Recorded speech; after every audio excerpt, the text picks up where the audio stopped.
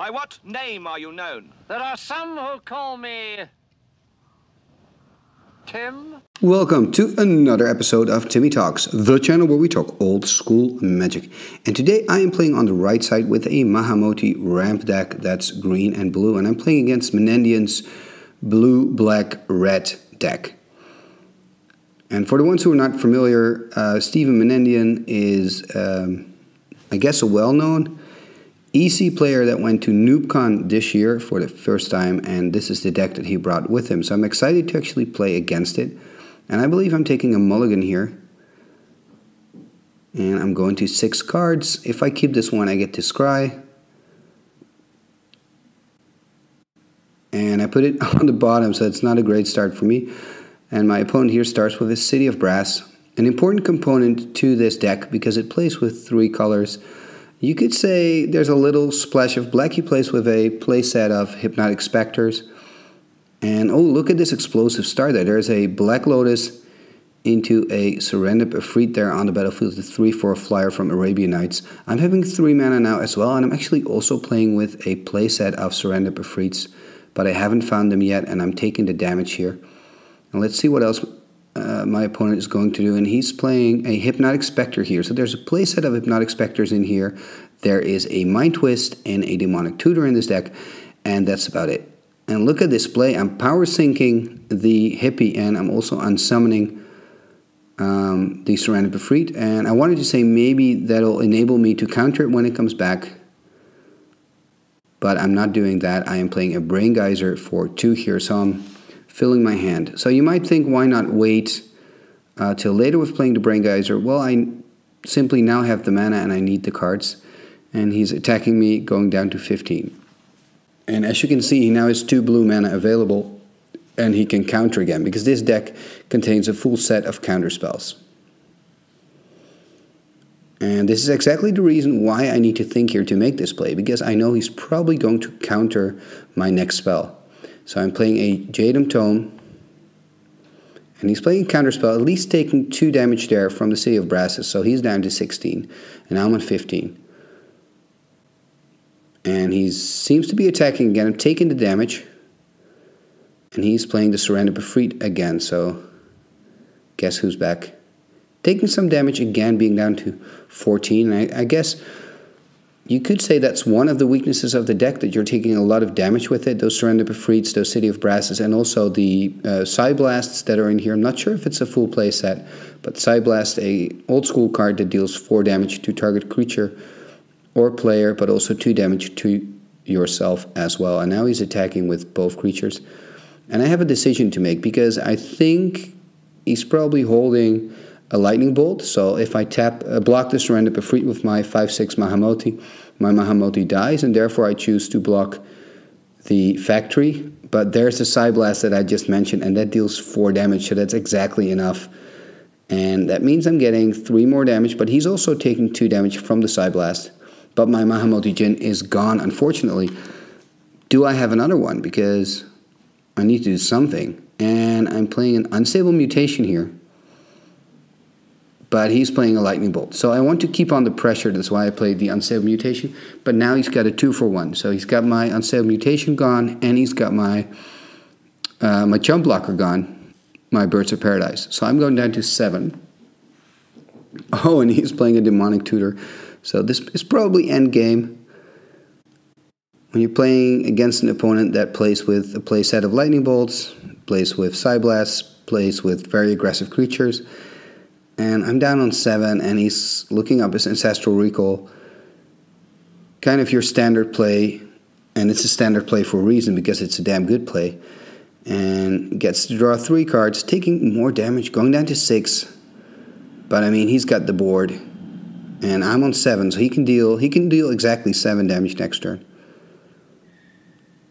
So this looks. Uh, this seems to be the end for me for game one, and he's attacking here. What can I do? And I'm showing him his hand here, and I had that tranquility in hand. My plan was to play out the unstable, and then when it ticked the birds down, play out the tranquility, and still have my birds. That was one of my ideas, but um, didn't make it. First game is a loss. Let's go to sideboarding and see what happens in game number two. Before we go to game number two, let's have a quick look at this card, the blue elemental blast, and here also is the red elemental blast. And these are two cards that we'll probably see a lot in game number two, and if we have game number three and game number three, because my opponent will probably board in uh, four red elemental blasts, I will board in four blue elemental blasts. So let the blasting begin. Game number two, and let's see what I can do. At least I'm on the play. Hopefully, I don't need to take a mulligan. And let's see what I can do against this uh, very powerful deck. Very quick deck, very aggressive deck. The idea of my deck is basically to, to ramp really quickly with four Llanowar Elves and four Birds of Paradise, get Serendib Efreets and Mahamoti Djinns out as soon as possible. Also Sol Ring, of course, great ramping tool. But there's a Library of Alexandria, and that's a big problem for me because I actually have no land removal in this deck. So, I mean, he can keep using this. So I have to find a way to get cards out of his hand. And I'm not drawing a land here for turn, so I have to pass turn again. This is not looking good for me. So I had this kind of nice start with the Sol Ring, but I have no follow-up play. My opponent here playing a Mox Ruby, taking a damage, playing a Hypnotic Spectre. Hopefully I can counter, and I can't at least I can take it from him playing a uh, control magic. He cannot counter, he stepped out. And this can kind of be my rescue here also to kind of compensate for the drawing power of the Library of Alexandria. Taking a damage from the City of Brass. And this is not great. Playing a Serendib Efreet, meaning I cannot attack. Or do I have something else? Playing an Unsummon. So that'll allow me to take a card out of, his hand. Hopefully, it's going to be that Serendib Efreets. That would be great. And it's actually a factory. Not too bad. You know, could be worse because then he would have two factories on the board, and that could create a real uh, problem as well. And there it is. The Serendib Efreets is back again. But it was worth it because what I got for my unsummon was kind of two damage in and he had to discard a card. So I think it's a good play, but I'm still waiting on my green mana and I, I have nothing to do now. And that's, uh, that's not good because he still has his active library and he's drawn so many more cards than I have. And he's attacking, taking the damage. Haven't taken a lot of damage. Actually, my first damage so far, so that's not too bad. But, I mean, he's definitely ahead.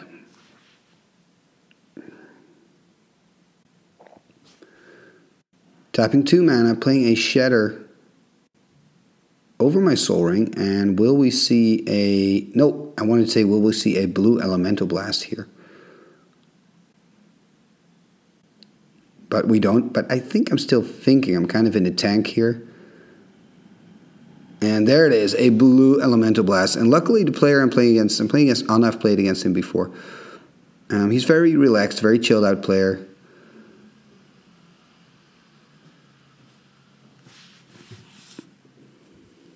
And I'm attacking again, so he has to lose another card.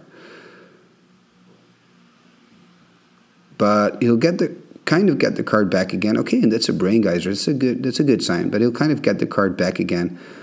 Uh, because he has six in hand now, and when he plays, when he draws, he'll have seven, and then activate his library, and he'll go back to eight again. So even though I managed to do quite a lot of damage there with that Hypnotic Spectre that I stole, I'm not really able to deactivate the Library of Alexandria. So curious to see what he's going to do now. Tapping for four. Oh, playing a Mind Twist. That's brutal. And I'm actually countering it here with the Power Sink, so that's great, but another counterspell. And this is great play, so that counterspell is making sure that I have to deal with the mind twist. So a mind twist here for three, and that's actually a very good play. So not being greedy and choosing to want to discard my whole hand, but keeping two blue open to play that counterspell.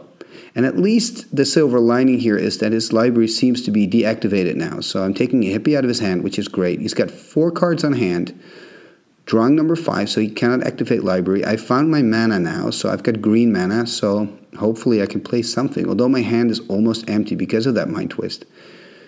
So even though the library is finally deactivated, I'm still very much behind.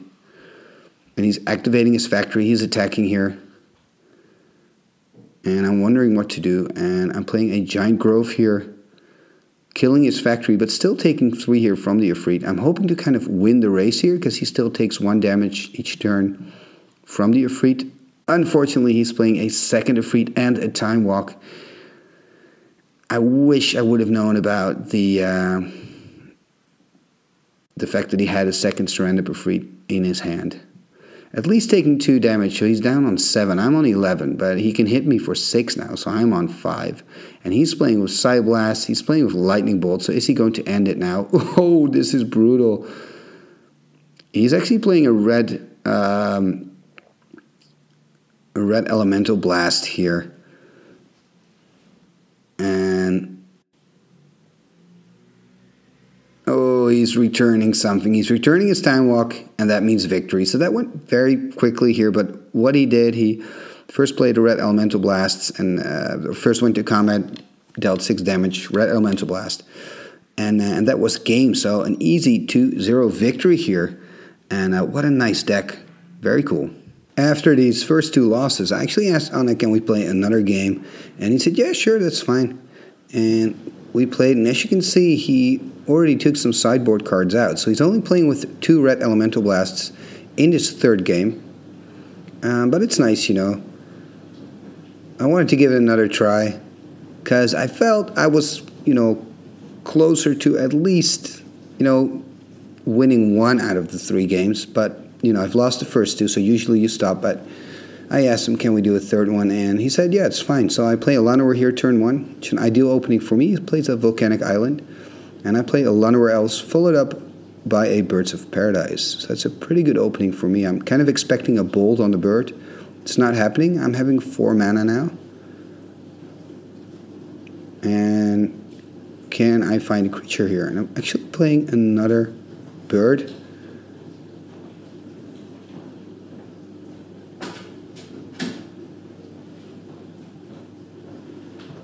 And let's see what I can do. Another island. I've got a lot of mana. But if I can't cast anything, then what's the use of a lot of mana? Maybe I have a power sink in hand. I'm attacking him for two. And he's passing turn again. So he's not doing a lot. So he, he's probably not having the best draw. And I'm attacking again for two. He's on 15. I'm still on 20. Playing another Llanowar Elf. Okay. I mean... He's playing a Psyblast on me directly.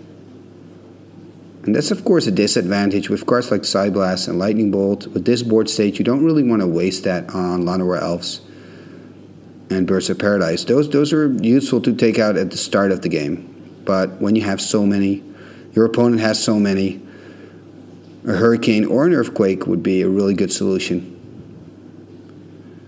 And I'm thinking here, maybe I have a giant growth in hand. First I'm tapping, playing control magic, but he's playing a counter spell. But I'm playing a power sink over his counter spell, so that's nice. Some counter magic battles going on here.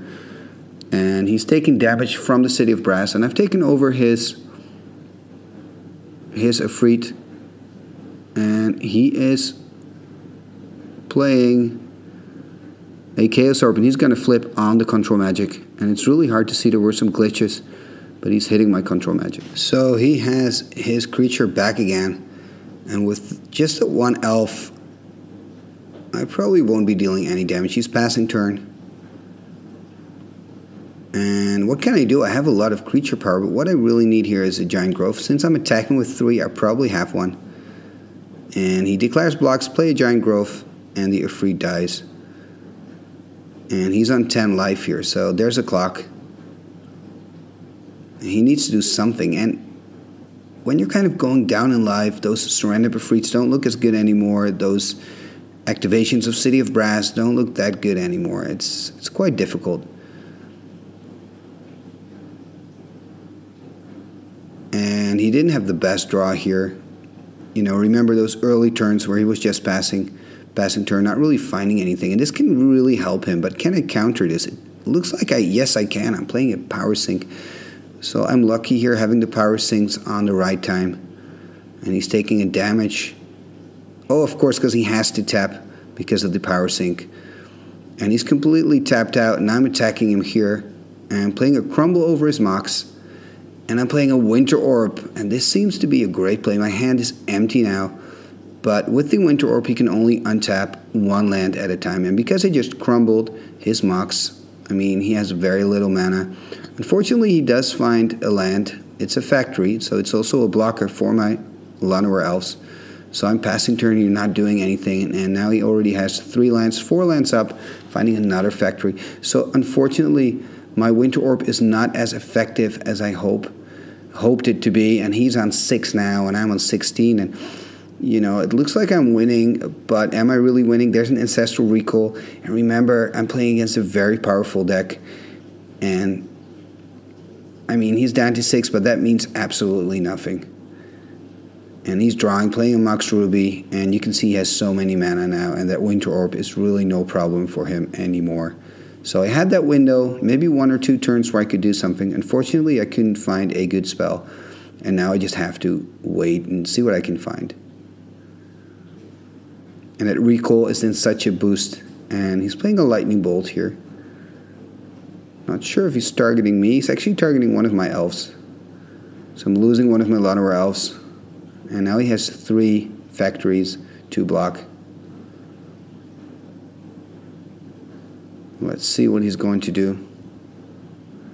Tapping a bunch of mana, and there's another Mind Twist.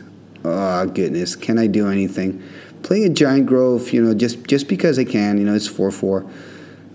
But that's not great. And I wish I would have used a Giant Growth before, or maybe the Blue Elemental Blast before to save my Llanowar Elf. And there is a Serendib Efreet. So this is great. Oh, a counterspell. Unfortunate, unfortunate.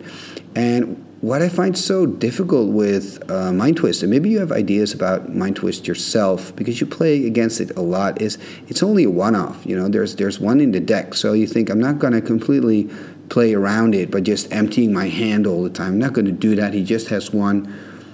Um, you know, one mind twist, so maybe I can counter. In the meanwhile, I'm playing a regrowth here for two mana, playing a regrowth over my Serendib Efreet, playing out the Serendib Efreet, hoping that he doesn't have a counter spell.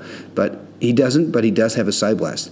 The downside for him is that Psyblast deals two damage to him, and of course there's that active Winter Orb. And as you can see, he has a lot of land tapped, so now it's actually holding him back again. Playing an Underground Sea, and this game is actually quite exciting. I mean, he's on four, I'm on 16.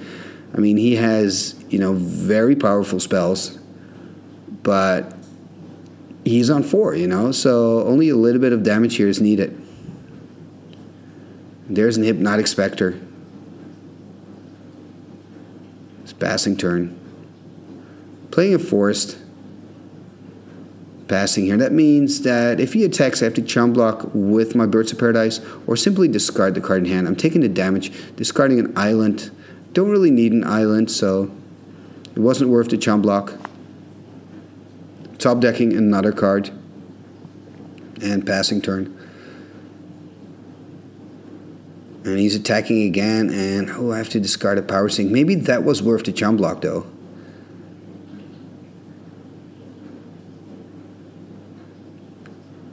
But I don't want to sacrifice my birds because they can fly over the factories and maybe if I get some giant growths or an unstable mutation, I can do him some serious damage because he's only on 4 life. But I have to take into account that he's playing with lightning bolts, he's playing with side Psyblast, so at a certain point I will have to start blocking because if I get too close to 6, I'm very vulnerable. And there it is, a cockatrice. A cockatrice is a 2-4 flying creature and everything it blocks or gets blocked by dies after dealing damage, I must say, but it all dies. And there's a Psyblast on the Cockatrice, so I like it. I mean, on this playing very aggressive, but only on two life. And again, he's tapping a lot of mana to do this. Only on two life. So that City of Brass, I mean, maybe you should just tuck it away in a corner. You don't want to tap the City of Brass now.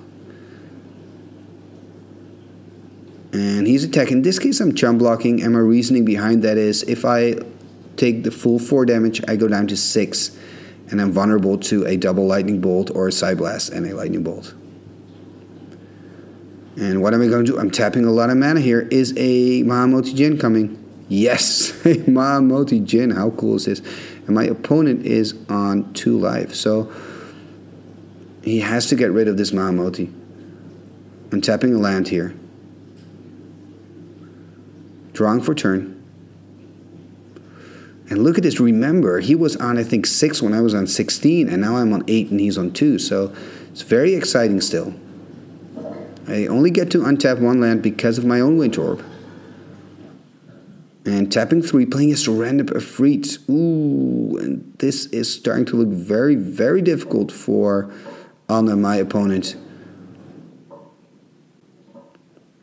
And he's going to do a double block and he has to spend a lightning bolt just to get rid of one Mahamoti Djinn. So I mean that is pretty steep. And he only gets to untap one land. I still have my Serendib Efreet to kill him next turn. So he has to top deck something very powerful. A Psyblast, no, a Psyblast wouldn't work because then he kills himself. So what can he do? Going through his graveyard, is there going to be a recall there? Is he going to use the recall to get the ancestral recall back or get the chaos orb back? What is he going to do? Three cards in hand. Tapping, and I do see a double blue. At least it could be possible. So going through his graveyard again. I mean, he has to make the right decision here, or he's dead. And he's playing a recall. Exactly, he's playing a recall. Of course, he's discarding his Serendib Efreet, which is not very useful anymore when you're on two life. And he decides to go for the draws. He's taking a chance here. He has three new top decks, you could say. And is he finding anything that can be useful? Playing a Sol Ring. But that doesn't scare me. And he's passing turns, so maybe, maybe I can get the victory. I'm, I'm on seven. I'm attacking. And that's game for me. So at least I've, I've won game number three, the game that really um, didn't matter anymore. But still, it's nice to see that um, you can still win with a revised deck. Uh, it's possible. Uh, that being said, take into account that he took out the two red elemental blasts, so he only had two main deck now because he plays two main deck because this is the uh, um, Menendian list as you could see at the start of this video and he plays two red elemental blasts main deck which I think is a very good decision because you know all the powerful decks have the the blue power and there are a lot of other blue spells like of course the uh, counter spells all types of them that you see a lot in old school. So i'm surprised that including myself um, that in some builds i don't play with more red elemental blasts. Well tell me what you think of this game what you think of both the decks you know obviously one of the decks is more powerful than the other but still you know i always like to to test those decks out and, and see what I can do with some revised builds, for instance, as you can see in, the, in this video with the uh, Mahamoti Ramp deck. Um, thank you for, uh, for watching this episode. If you'd like to see more old school magic, you can click on the videos that are appearing on the screen right now, or you can take a look on the channel where we have, I think, 50 plus videos or almost 60 videos ready for you to watch all old school games. Thank you for watching this episode of Timmy Talks, and see you next time.